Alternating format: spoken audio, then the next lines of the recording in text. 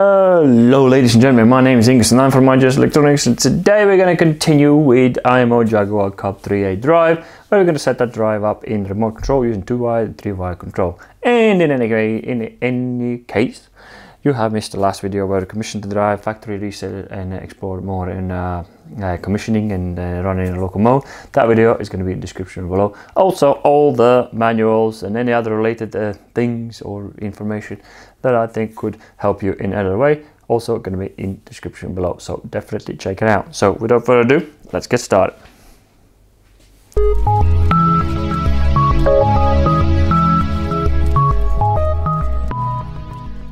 Here we go. So first station is uh, set up and it's gonna look like a so pretty much oop, like that. So we're gonna have a uh, emergency stop, which is basically as like a quick stop. If you're not using any external systems uh, uh, to shut it down, it will it will do that internally within the drive.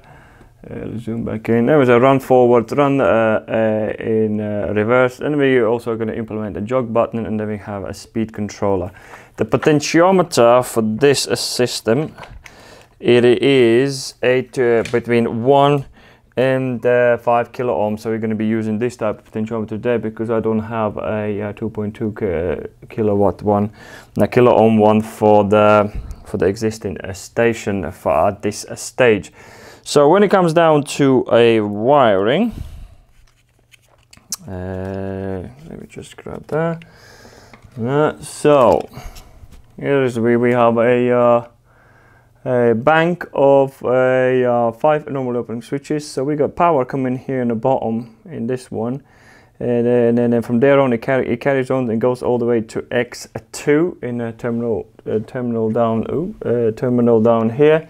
So that one is being pre-programmed to be as a as, as a uh, quick stop. So uh, let's go a bit closer. So and then it carries on, so it sort of powers up all the all the all the switches down here. And then we're gonna also run forwards, run reverse, and then we have a jog button which is pre-programmed. We're gonna show that in a minute where to the X1 where we uh, program that in. And also jog button will require a run signal, so it is being wired to a, a reverse.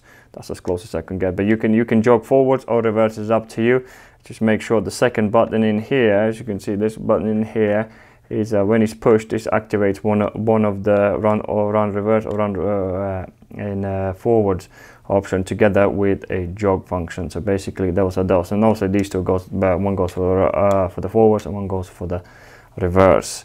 So that's regarding when it comes down to wiring. And potentiometer is wired in an 11 12 and a 13 and also I'm using a uh, uh, Siemens potentiometer for it at this time. So when it comes down to programming, there's a couple of things that we need uh, to change. And first one, we need to make sure our a uh, run signal, run frequency, it is coming from the, the terminals down here and is set to voltage.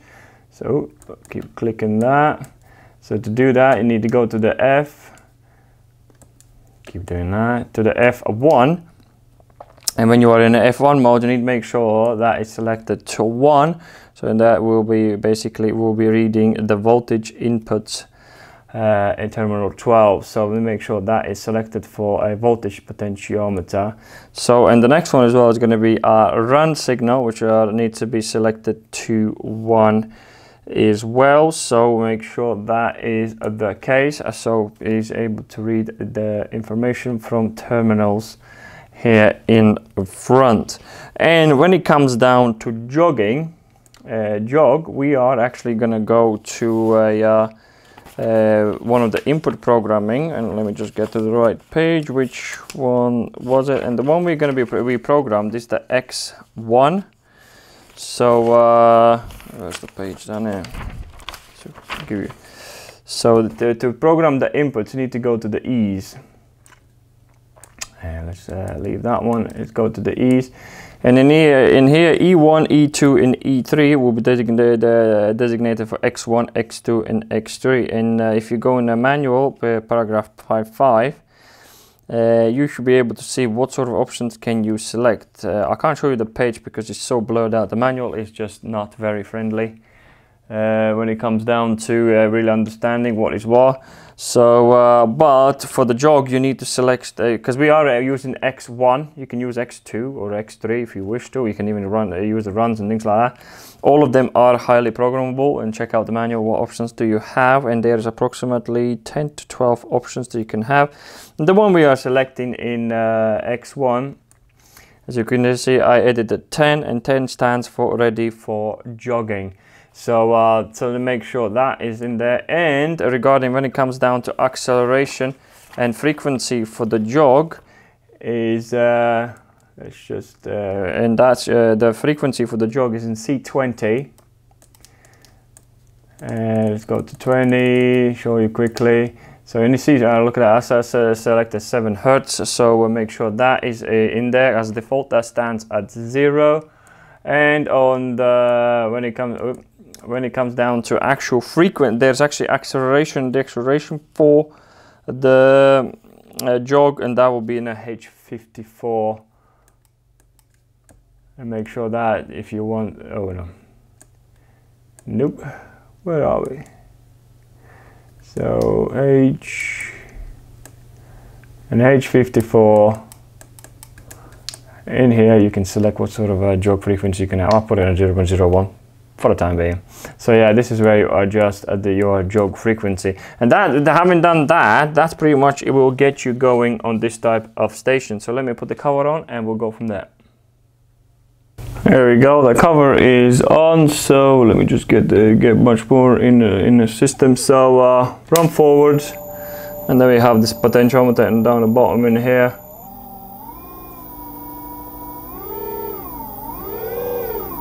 So that's for the run forwards, that's how it's going to work. And then you will have the same when it goes in reverse and then the jog, as you can see, when you are in a jog mode, it will actually tell you on the screen you are in a jog. So uh, and that's pretty much how to set up this kind of setup. And the next one we're going to be looking at, which is a three-wire control. So let's get to it. And as for the three-wire control, we have uh, made a little small changes for it. So uh, we added the stop button. So let me show you the station. So this is what it's uh, going to look like on the station. Here we zoom in, zoom in. Here we go.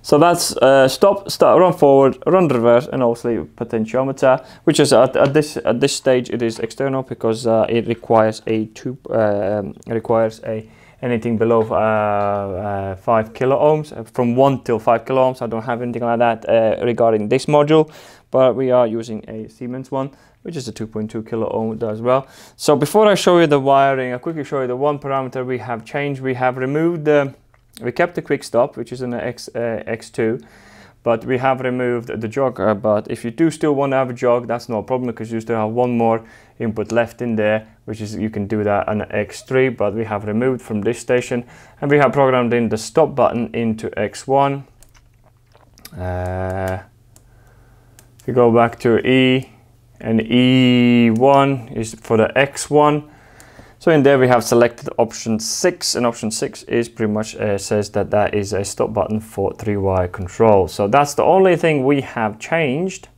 for when it comes down to uh, setting up this station up and when it comes down to a wiring. So in the wiring, zoom this in properly.